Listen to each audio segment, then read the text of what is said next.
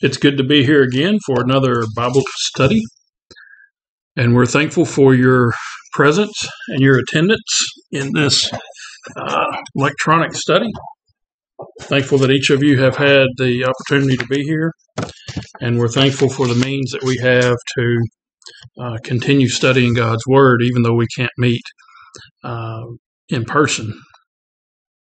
We uh, say that each of you should continue to do Bible study at home and continue to be um, mindful of God's Word, even as we um, continue to battle this pandemic.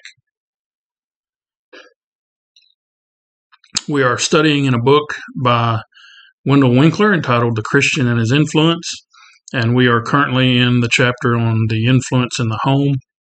And we will move forward through this chapter and probably finish it today and then move into the next lesson. So, as we do so, let's begin with a prayer.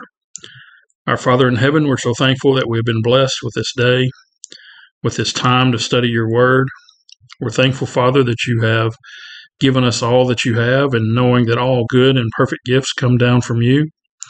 We're thankful, Father, for your Son Jesus, for his love for us, for his willingness to die on the cross and shed his blood for our sins. We're thankful, Father, that we've been blessed with the knowledge of the truth. And we pray, Father, that you would continue to be with us as we work and worship and as we spread your word throughout the world.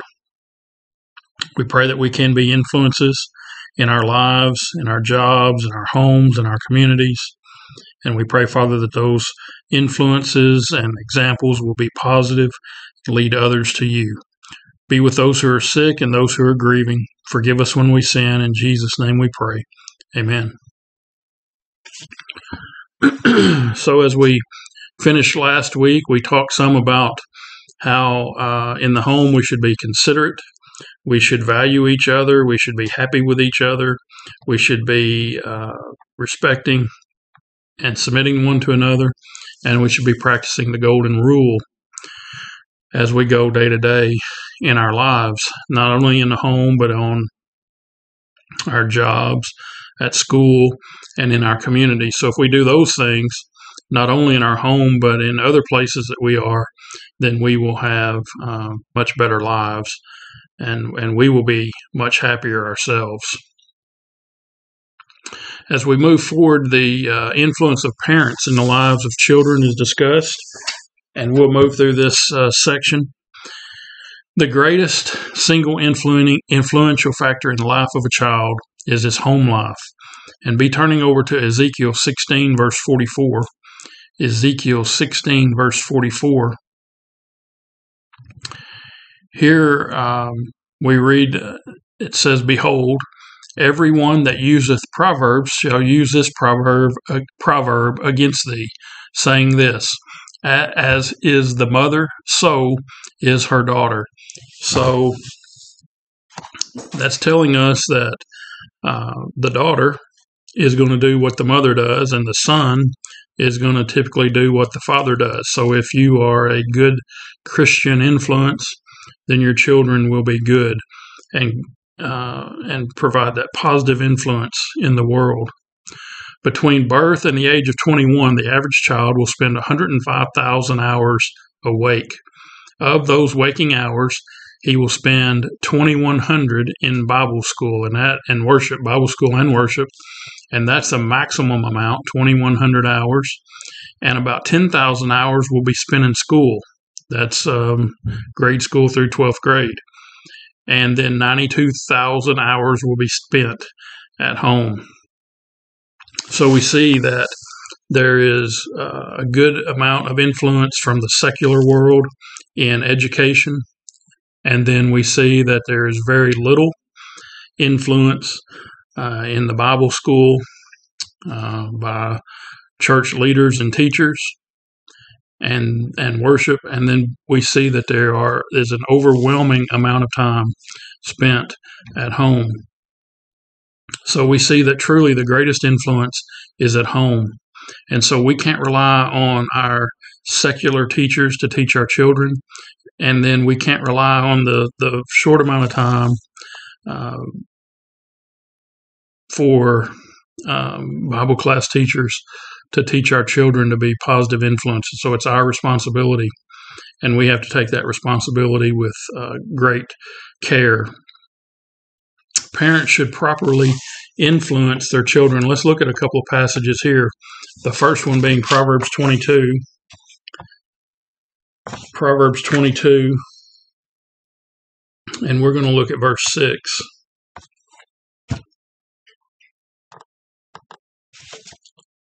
Proverbs 22 6 tells us to train up a child in the way he should go, and when he is old, he will not depart from it. And then in the New Testament, Ephesians chapter 6, Ephesians 6, verse 4, tells us here, And ye fathers, provoke not your children to wrath, but bring them up in the nurture and admonition of the Lord. So parents should be in constant prayer for their children. They should be constantly providing instruction and a proper instruction and proper influence.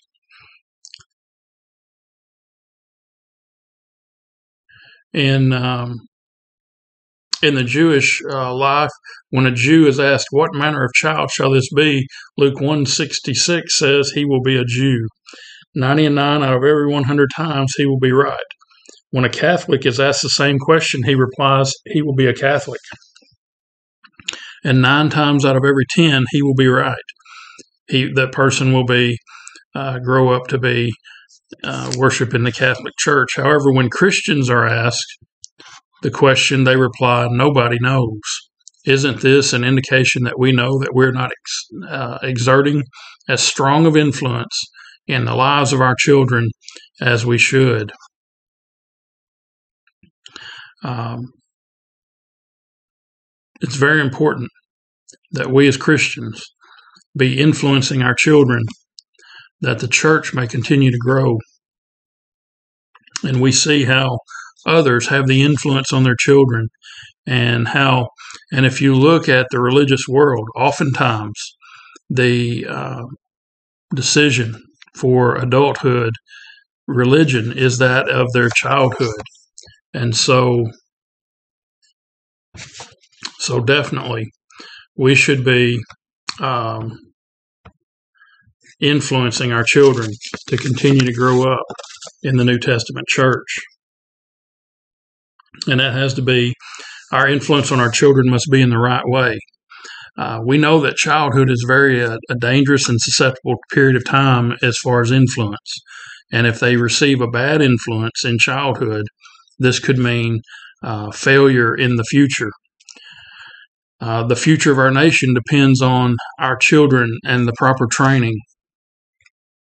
And we all know that our nation is in a turbulent time, and uh, we should be doing all that we can to influence our children to be God fearing, God honoring, and uh, in all that they do in the future to continue those things. The future of the church depends upon the proper training that we give our children for our for the church of the Lord, the New Testament church, uh, God's kingdom, for it to continue as uh, we expect it to, for it to continue to grow, then we have to be a positive influence. We have to properly train. We have to properly teach. And we have to teach the truth, again, in love, and we can't be uh, wavering, and we need to uh, ensure that the church continues. This is true because the salvation of parents depends on whether or not they have given their children proper training. Um, you know, it's very uh, incumbent upon the parents to properly teach their children, and um, that responsibility uh, is not um, or should not be taken lightly we certainly do not want our children to end up uh, in everlasting punishment.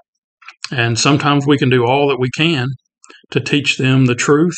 We can be examples and, and demonstrate the uh, truth to them. And sometimes they still don't follow through with the proper uh, education that they've received. But we are responsible for teaching the truth. And this should be early we should start early. Second Timothy two fifteen or three fifteen tells us that Parents should put their children in Bible school as soon as possible. Uh, we should be studying the Bible at home as soon as possible. And don't wait until they're ready to go to school to begin studying the Bible. A mother once asked a child psychologist when she was to start training her child, and he asked how old the child was. Being told that the child was five years old, that psychologist said, Hurry home. You've already lost the best five years of your child's life. So, our instruction and our teaching begins as soon as they're born. You know, and I've heard the I've heard uh, about how people have read to the baby uh, in the mother's womb before it was born. And, uh, you know, how that begins. Uh, the, the baby hears and understands those things. And maybe not understands, but hears. And so it is a uh, beginning path of education as soon as birth happens and as soon as you can begin training a child so some of the things that parents can do are first of all, and we've we've talked about this many times in the last uh, few weeks as we've studied this book and the previous book. Again, attending church services, Hebrews ten twenty five. Parents should always bring their children to the church services and not just send them. Again, that's an example that we have to set. Judge Sam Davis Tatum of Juvenile and Domestic Relations Court in Nashville said, I've tried approximately 8,000 boys and girls under 17 years of age for violating the law. Of that number, there has not been a child in the court whose father or mother went to Sunday school or church on a regular basis. Of that, approximately 8,000, only 41 of them, of, of the 8,000, only 41 of them went to Sunday school or church themselves. So it's very important, and you see the uh, potential uh, results uh, demonstrated there by uh, their attendance in church. Some other things that uh, parents must do is maintain wholesome speech, and um, then another thing is avoiding becoming unbecoming bad habits a father and his son entered a store. The clerk asked the father, What will you have? And he said, A pack of cigarettes. And turning to the boy, the clerk said, What will you have? And that boy said, The same as my dad. So whenever a child sees a parent uh, drink alcohol or smoke cigarettes or uh, use other forms of tobacco or other unnecessary and unbecoming habits, then the child will continue in that same direction many times. And so, again, we have to avoid those bad habits. Uh, in this particular example, it says that once the father heard the son say that he would take the pack of cigarettes as well, the father said, Well, uh, in second thought, uh, I don't want the cigarettes. So, those things should be alarms to us, and we should be uh, thinking of the contributing factors we have in the lives of our children and grandchildren. By uh, the next thing is by cultivating religion as a chief chief topic of conversation and concern in the home. Let's turn in our Bibles to Deuteronomy chapter six. Deuteronomy 6, beginning with verse 6, another one of my favorite passages. Um, Deuteronomy 6, verse 6.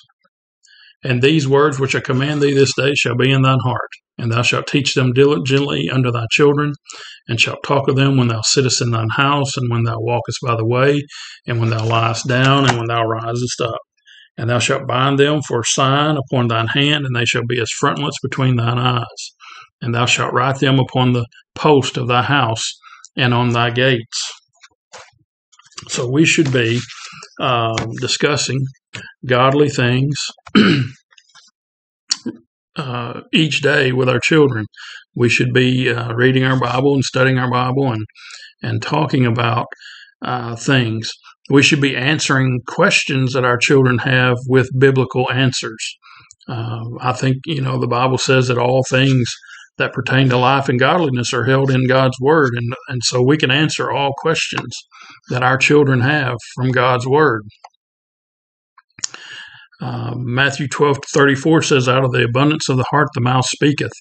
So if the Lord's church is laying heavily on our hearts, as it should be, we will often speak of it.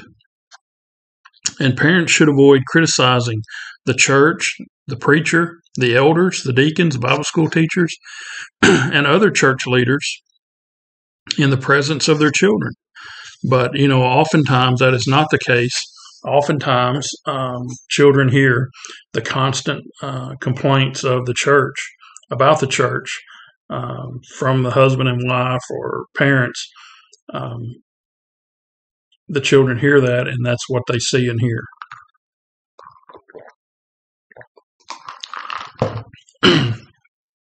he says here in some homes on the Sunday meal consists of stewed elders, roasted preachers, and baked song leaders. And then we wonder why later in life the children become uh, teenagers and adults who do the same things. And we know that uh, the church leaders are not always um, making decisions that everyone is in, in favor of, but those decisions are made based on God's word. We know that um, song leaders do not so- always sing in tune, and um, but we are singing to God, and so we should be mindful of that. And we always know preachers receive uh, quite a bit of criticism for things that they say in the pulpit and things that they do but we should be mindful of uh, uh, again doing things and speaking uh, good wholesome speech and we should be we should be uplifting and not bringing down. Uh, the next point is we should be encouraging family devotionals. Genesis 12 uh, tells us that everywhere abraham went he worshiped god with his family and so we can trace his journeys and we can see the studying that happened in the lives of his children. So, we as Christians should be uh, also encouraging our children to study God's Word and maintain family devotionals. We should be reading the Bible with our family, with our children, and the home must contain food for the soul as well as for the body. Families should pray together and it's still true that families who pray together stay together. So let's be mindful of our responsibility of uh, maintaining Bible study and devotion, prayer, and um, feeding the souls of our children and grandchildren. We should also be encouragement to our children to become uh, Christians when they reach the age of accountability and we know that that's no specific age, that the Bible doesn't say that when you reach this certain point in your life. But we do know uh, that we can tell when a, a child becomes uh, accountable. They know the truth. They, they know between right and wrong. They know God's word. They know the plan of salvation. And so uh, we should be encouraging and influencing our children to become obedient to the gospel we should be impressing our children with the fact that there's a place in the kingdom of God for them. Uh, we should bring, we should encourage them to bring uh, friends as guests to the church services. Uh, we should encourage them to help friends in need. We should encourage them to check on those who are not in Bible class. We should encourage them to take part in worship services, and we should encourage them to be present in Vacation Bible School and other church activities that are available. We should provide good, wholesome recreation for our children, and we must show them the best way to live in the world. And that best way to live in the world is to live above the world.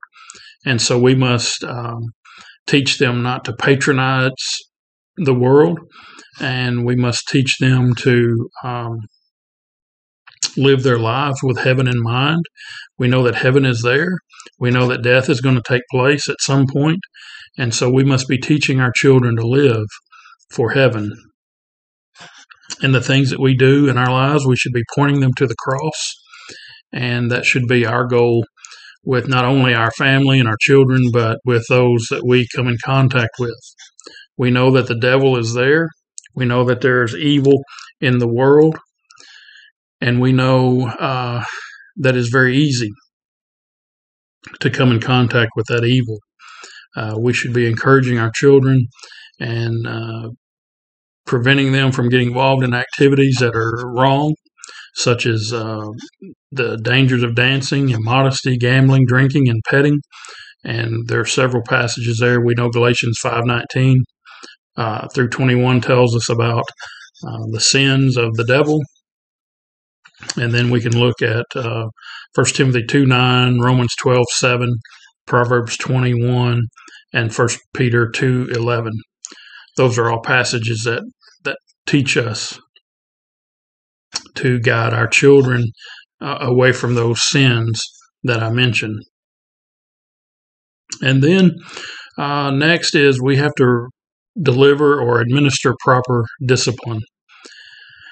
We should avoid being unreasonable and we should never be unduly severe.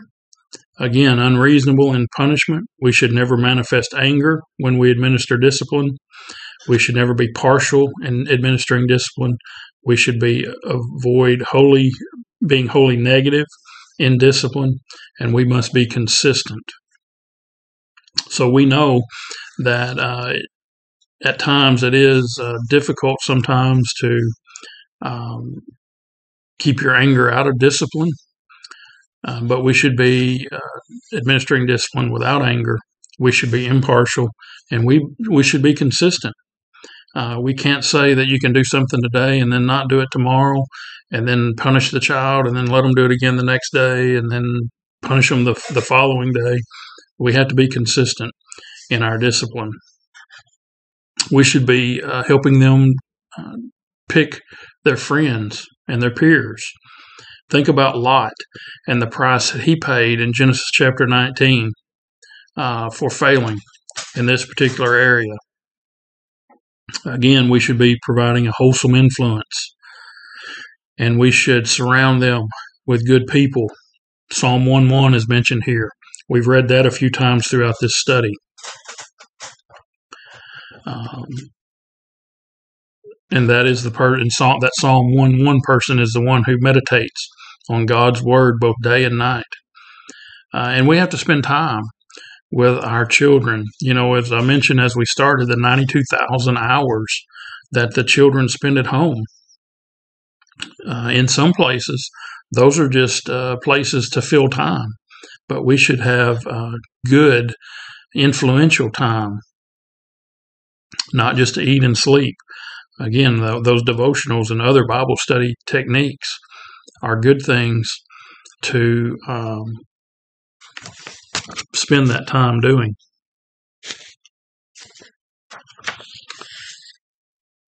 You know, when we think of uh, the influence by fathers, we think there's there's so many ch- fathers influenced or or uh, uh, interested in golf and sports, and they uh, spend countless hours playing golf or sports or trying to get their children to be involved in those things, they should be working and, and influence their chil- influencing their children in the study of God's Word. Mothers also have responsibility. They may not be playing golf or sports, but they might, might find other things that take up their time. But we should be using more time to influence our children than we do for recreational activities. We should be providing a Christian education. The Christian school is a wonderful place to uh, supplement the home in assistant, assisting parents in giving their children such an education. And we know that in our particular area there are no uh, Christian schools, but we should be influencing our children by our own actions. but if we were living in areas where there are Christian schools, we should be uh, certainly sending our children there so that that can that environment can help uh, assist in the home life or the the environment of the home and the responsibilities of the home. And by above all, finally, in this particular section is the Christian should be living the Christian life in front of their children. We've said this so many times that a children that a child will follow the example of their parents quicker than following someone else. And so um, if our children see us faithful in attendance, uh, living our lives faithfully, uh, avoiding the sins of the devil, then we can influence our children to do the same thing. And you know, children have a responsibility too. Children are to be obedient, Ephesians 6 1 through 3. Children are to honor their parents, Ephesians 6 1 through 3. Children are to help their parents, Matthew 21 28 through 32. Children should be considerate, loving, respectful, and thoughtful toward their parents, Proverbs 19 26. Uh, children should never be striking or cursing their parents. Exodus 21 15 and 17. Children should heed their parents' counsel and instruction. Proverbs 1 8. And children should never be stubborn, rebellious, or drunkard. Deuteronomy 21 18 through 21. So children have a responsibility as well. Uh, but we know when children are young, we should be influencing them. And as they grow older, hopefully they will keep that influence in their heart and they will live their lives as they should. Uh, and even the older uh, individuals can be an influence in the home. And they can do that by setting a good example through wise counsel and instruction, Titus 2 1 through 8. And uh, the older individuals must avoid um, a negative influence on the home, uh, living exclusively in the past, fault finding, feeling mistreated, or being hard to get along with, or inactive in the services of the church.